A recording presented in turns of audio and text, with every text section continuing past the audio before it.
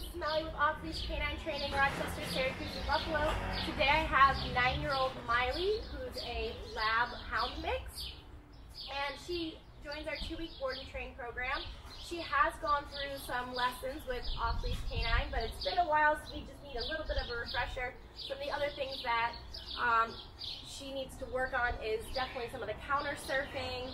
She's naughty about getting up on the couches and the beds when she knows she's not supposed to, just following through and listening with her um, commands.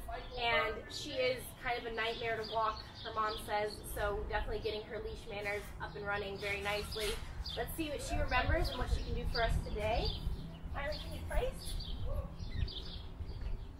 Oh, good girl, good girl, place. Good job. Place. Sit. Miley, sit. Good girl, sit. Very nice. Nope, sit. Sit. There, very nice. How about down? Down. Down. Miley, down. Down. Down. Definitely some of that selective hearing there. Selective listening. Oh, come. Miley, come. Miley, come. Come, come, come, come. Come, come, come, come. Almost. Come on. Come, come, come, come, come. Come, come. We do have some refining to do, so join us in two short weeks to see her amazing progress.